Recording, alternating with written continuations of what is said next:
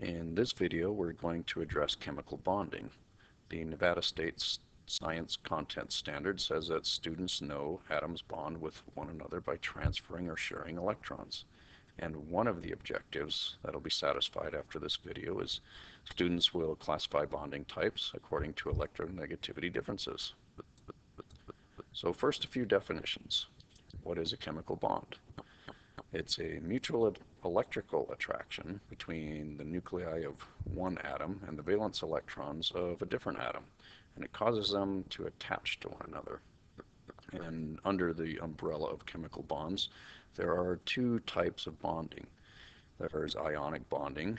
It's a type of chemical bonding that's caused by purely electrical attraction between cations, which are positively charged ions, and anions, negatively charged ions. Covalent bonding, the other type of bonding, is a chemical bonding caused by the sharing of electrons between different atoms. Sharing is caring, covalent bonding. And to determine what type of bond you have, we can use an electronegativity chart, which is found in your textbook on page 161, and there are various electronegativity charts on the internet and other places. Generally, if there's a difference in electronegativity of 3.3 to 1.1, you're talking about an ionic bond. If it's less than 1.7 and down to 0.3, it's a polar covalent bond. And if it's less than 0.3 down to 0, it's a nonpolar covalent bond and soon we'll discuss exactly what that means and how you determine these differences. Ionic bonds, there's a big difference in electronegativity. Examples include fluorine, which has the highest electronegative value of 4, and if it's bonded to potassium, which has an electronegative value of 0.8, you simply subtract find the difference, and it's 3.2. 3.2 falls well within the range of an ionic bond.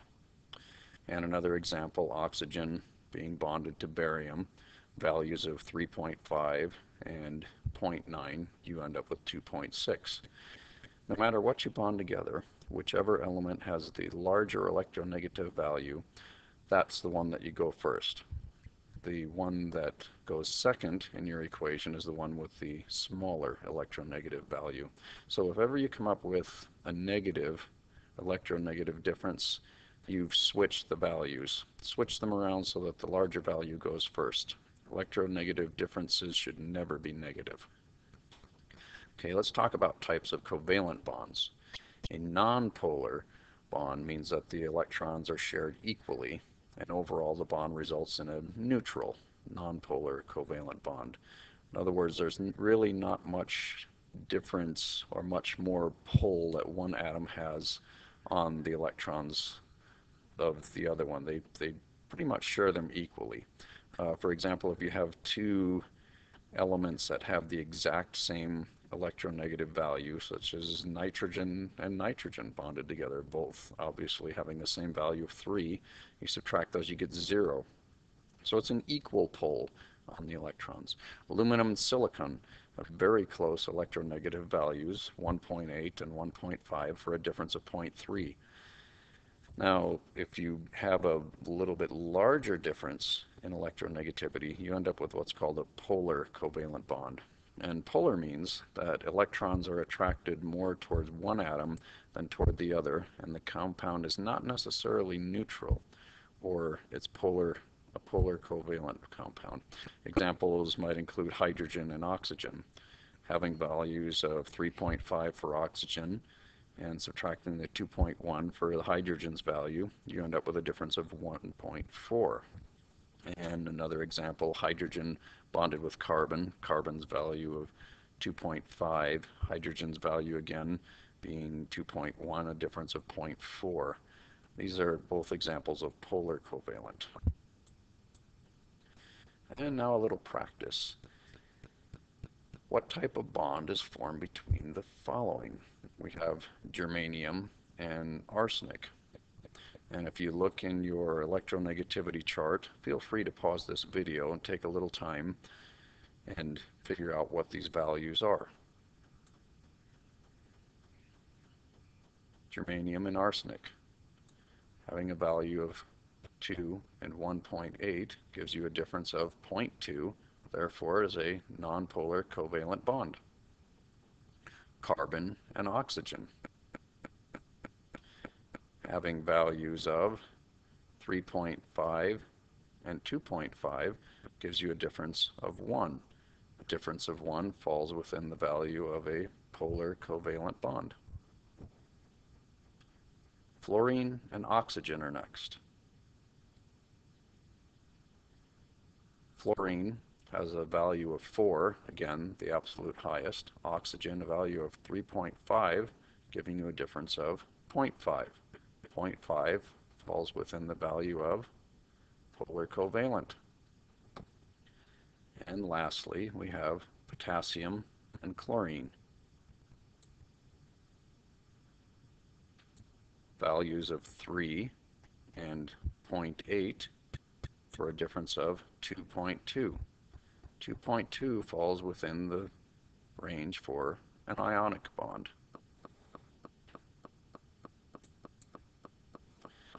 Let's talk now more specifically about covalent bonding. A covalent bond is when two or more atoms are connected by the sharing of electrons in their outer layer, which is also known as its, the valence layer. The formation of a covalent bond will start with two atoms that are pretty far apart and they really have no forces acting on them to repel one another or to be attracted to one another. So we have like and opposite charges act as forces to repel and attract. Those would be protons with a positive charge and electrons with a negative charge. Greater distance, at this point, there is no attraction. But as these two atoms get closer, an attraction between the proton on one atom and an electron on another atom begins. And that could be seen the other way as well, the proton on one atom attracted to the electron on another. If they get still closer, it'll reach a certain point where the repulsion of protons from one atom and the protons from another atom, same charges repel, and also the repulsion of electrons on one atom and the electrons on the other atom, both negative, those repelling forces are going to balance with the attracting forces that we mentioned above here with the proton-electron attraction. And that will pretty much determine the bond length. Now, if these were pushed closer, the repelling forces of same charges from one atom to the other are going to overpower the attractive forces of the opposite charges and it would push them back apart until we would reach a stable bond length where the forces are balanced. Characteristics of a covalent bond. Electrons used to bond are equally shared. They don't necessarily belong more to one atom than they do to another. And this being the case, that means that the orbitals are going to overlap between those atoms. The distance, or the bond length between the two nuclei, is going to depend upon the number of electrons shared and the elements that are bonded. It is possible for atoms to share more than one electron. Generally, the more electrons shared shortens and strengthens a bond. And being bonded to multiple atoms or elements can also affect bond strength, bond energy, and bond length.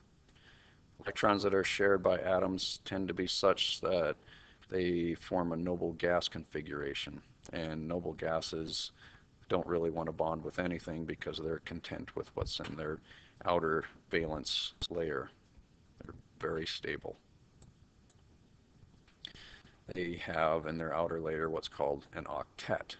And the octet rule says that chemical compounds tend to form so that each atom, by gaining, losing, or sharing electrons, will have an octet of electrons in its highest occupied energy level, or its valence electrons. And that's usually going to be 8. And there are exceptions to this. Generally, in at this level of chemistry, we're not going to deal a lot with those exceptions. But just so that you know that some of them exist, hydrogen, though it is a noble gas, will bond to achieve two electrons to match the noble gas nearest it, helium. Boron is a bit of an oddball. It bonds to achieve six electrons rather than eight. And there are some elements that tend to have more than eight electrons. Okay, that's it for this video. Thanks for watching.